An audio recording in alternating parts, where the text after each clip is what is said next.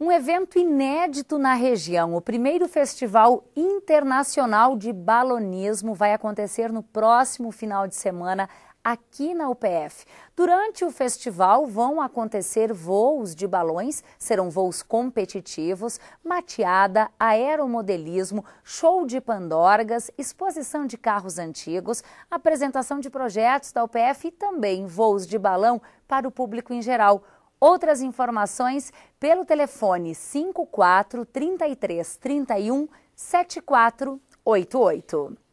A temperatura não deve cair muito nos próximos dias, a mínima fica entre 12 e 15 graus, mas a chuva continua durante toda a semana. Veja os detalhes na previsão.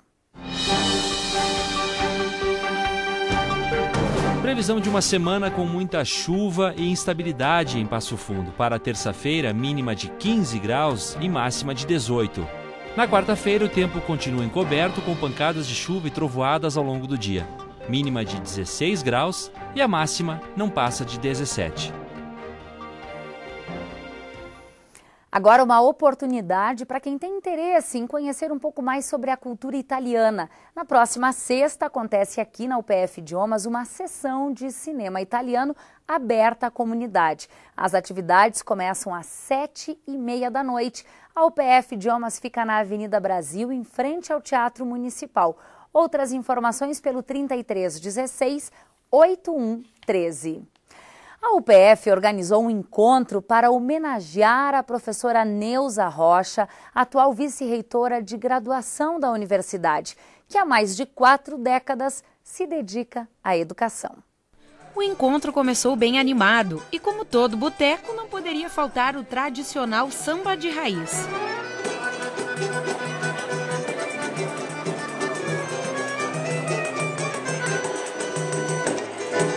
Restante da animação ficou por conta dos colegas de profissão e, claro, da homenageada da noite, professora Neuza Maria Henriques Rocha.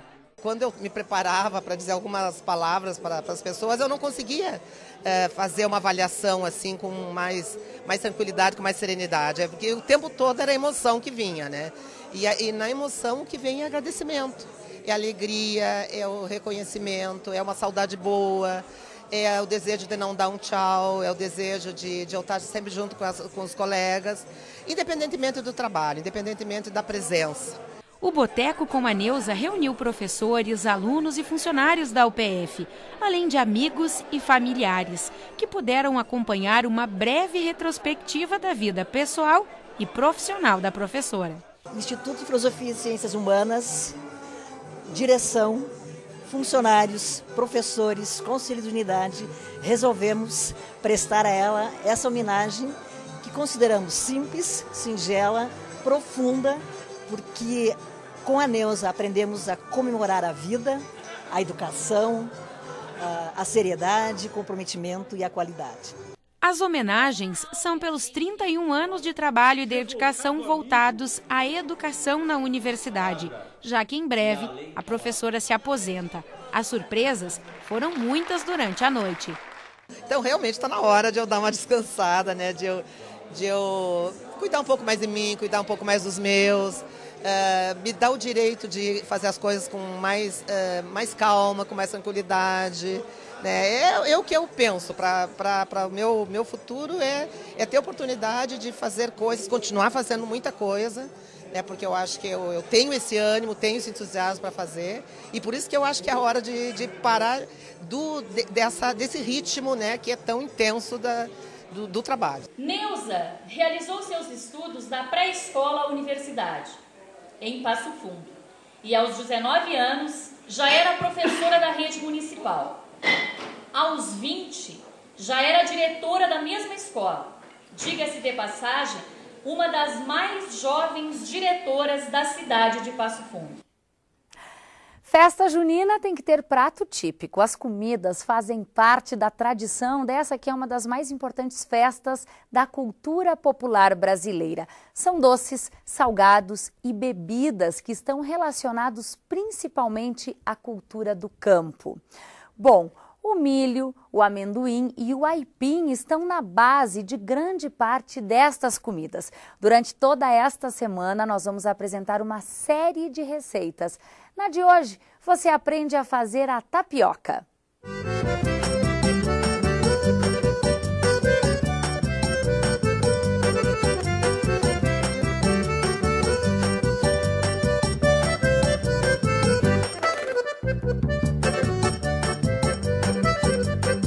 tapioca é um prato feito de polvilho azedo. Para essa receita vai 500 gramas de polvilho azedo, um copo e meio d'água, uma pitada de sal a gosto, e bota ali na farinha ali e você vai dissolvendo até o polvilho ficar úmido. Quando ele estiver úmido, você tirar todo aqueles excesso de, de grãozinho que vai ficar, aí você leva ao fogo na frigideira, você forra a frigideira você olha que ela começa a se largar do lado da frigideira ali, você vira ela, espera pelo um minuto, tá no ponto, você leva um prato.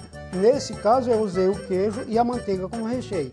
E existem vários recheios que você possa fazer, como pode ser doce, salgada. E o mais fantástico da tapioca é que ela não engorda. No meu estado, né, que é o estado da Paraíba, próximo a Campina Grande, passou a ser um prato tipo nosso lá. Vem desde de geração a geração e cada um vai se habituando. Gosta, gostamos muito, né? ela é feita da mandioca. A tapioca também é um alimento é, é, bem importante porque ele também não contém glúten, forma uma espécie de goma no estômago, então ela tem um poder de saciedade bem importante.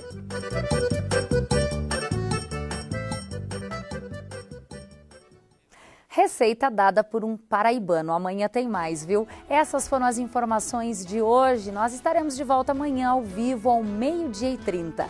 Você pode rever esse programa ainda hoje em outros dois horários, às sete e meia da noite e também às dez e meia da noite.